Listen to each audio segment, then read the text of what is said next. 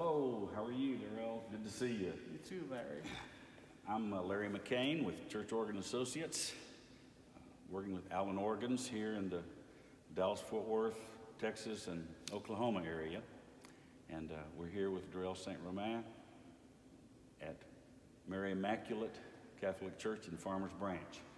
And uh, he's going to share a little bit uh, of information about uh, his program in music here and, and this wonderful organ.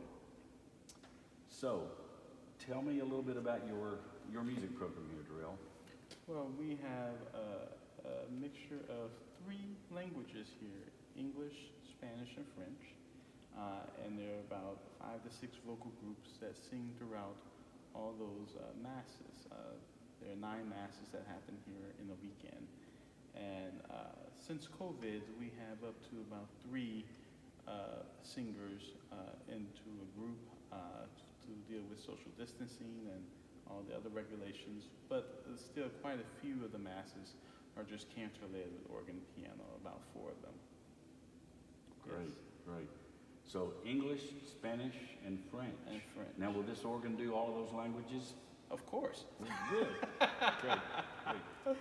Uh, tell us about your journey with uh, uh, acquiring this instrument for Well, Uh, my predecessor started the process, and when we got, when I got here in July of 2017, uh, the contract had already been signed, and uh, but I got to sit in on uh, the voicing of the, the pipes that were placed in by Robert Sipe, uh, organ builder here in Dallas.